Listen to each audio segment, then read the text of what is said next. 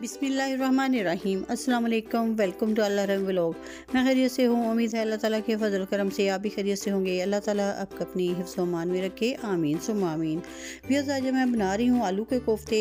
आपने यकीन चिकन के, बीफ के और जो मटन के कोफ्ते ज़रूर खाए होंगे, लेकिन आलू के कोफ्ते जो है, ये भी बहुत ही टेस्टी, बहुत ही मज़ेदार बनते हैं। तो फिर चलिए ये बिना टाइम वेस्ट किए हम अपनी रेसिपी की तरफ़ बढ़ते हैं। बिसमीम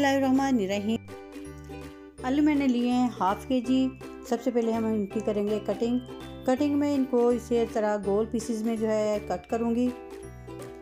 जो ख़राब पीस है, वो इसको मैं निकाल दूँगी और जो साफ़ पीस हैं, उनको मैं ऐसे ही एक साइड पे करती जाऊँगी। इस तरह अगर कटिंग करके हम बॉईल करेंगे तो जो आलू है, बहुत ही अच्छे से बॉईल होते हैं और जल्दी से भी बॉईल हो जाते हैं।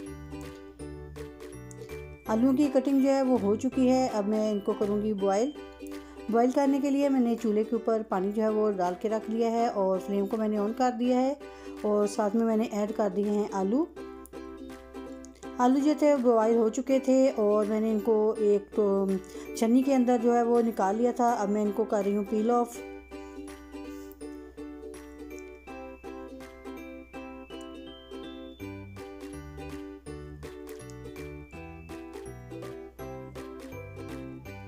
आलू सारे जो हैं वो मैंने पील ऑफ़ कर लिए हैं। अब मैं इनको मैश करूँगी।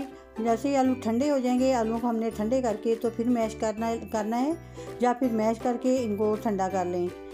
तो अब मैं मैशर की मदद से जो है आलूओं को मैश कर रही हूँ। हमने बिल्कुल अच्छे तरीके से जो है आलूओं को मैश करना है, ताकि कोफ्ते हमारे जो हैं वो टूटे नहीं। अब मैं इसके अंदर ऐड कर रही हूँ एक छोटी प्याज बारीक चॉप की हुई। सब्ज़ मिर्चें चॉप सब्ज़ मिर्चें हैं, ये तीन से चार अदद हैं। आप अपने हिसाब से भी डाल सकते हैं। भुना हुआ बेसन है, तकरीबन जो है 200 ग्राम। यह है खुश्क धनिया, वन टेबल स्पून सुरख मिर्च पाउडर, वन टीस्पून नमक, वन टीस्पून गरम मसाला था और यह है कुटी हुई लाल मिर्च। नमक आप अपने हिसाब से जो है वो डाल सकते हैं। तो लेकिन ये जो मैंने आपको बताया है, ये परफेक्ट है। हमने इनको अच्छे से आटे की तरह जो है वो गूंद लेना है। अच्छे से हर चीज़ को जो है मिक्स करना है। ताकि इसकी बाइंडर जो है बहुत ही अच्छी सी आ जाए और अब मैं इसके अंदर ऐड कर रही हूँ। कॉर्नफ्लावर मैंने भर के दो दो टेबल स्पून जो के करीब मैंने ये डाला है कॉर्नफ्लावर और मैं इसको अच्छे से जो है ऐसे मिक्स करूँगी।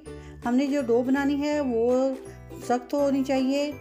अब मैं इसके अंदर ऐड कर रही हूँ कसूरी मेथी, ये ऑप्शनल है अगर आपको पसंद है कसूरी मेथी तो आप ऐड कर सकते हैं अदरवाइज़ आप स्किप भी कर सकते हैं। अब मैंने इसके अंदर ऐड कर दिया है कुकिंग ऑयल कुकिंग ऑयल मैंने इसलिए डाला है, देखें ये जो डो है, इसने जो बाउल को बिल्कुल छोड़ दिया है और डो हमारी बहुत ही अच्छी सी रेडी हो चुकी है। अब मैं इसके बनाऊँगी कोफ्ते।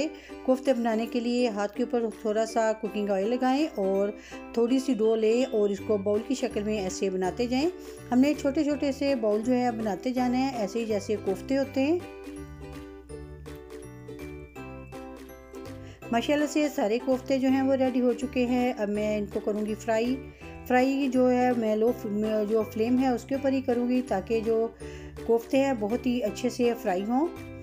हमने इनको डीप फ्राई करना है। हमने बिल्कुल लो फ्लेम के ऊपर इनको फ्राई करना है क्योंकि अगर हम लो फ्लेम के ऊपर फ्राई करेंगे तो अंदर तक ये पकेंगे भी और ये क्रिस्पी भी बहुत ही बनेंगे। आलू तो हमारे बॉयल हैं जो बेसन हमने इसके अंदर ऐड किया है वो भी भुना हुआ है। तो इसलिए हमने ऊपर से जो है, बहुत ही क्रिस्पी सा इनको बनाना है। माशाल्लाह से इनकी लुक देखें, बहुत ही मज़ेदार, बहुत ही टेस्टी सी है। ये कोफ्ते जो है, बहुत ही टेस्टी बनते हैं, ज़रूर ट्राई कीजिएगा और कमेंट सेक्शन में ज़रूर बताइएगा कि आपके कोफ्ते जो हैं, वो कैसे बने हैं। और प्लीज़ जो उन्हें देखने वाले हैं, वो मेरे चैनल को भी ज़रूर सब्सक्राइब कर लें। और वीडियो को लाइक भी ज़रूर किया करें, ये आपकी तरफ़ से हमारे लिए एक इनाम होता है। माशाल्लाह से देखें, कोफ्ते कितने मज़ेदार टेस्टी से जो है वो रेडी हो चुके हैं। अगर आपको मेरी आज की वीडियो जो पसंद आई हो तो प्लीज़ लाइक और शेयर करें। और इसके साथ ही मुझे दीजिएगा इजाज़त, अपनी दुआ में याद रखिएगा। अल्लाह हाफिज़।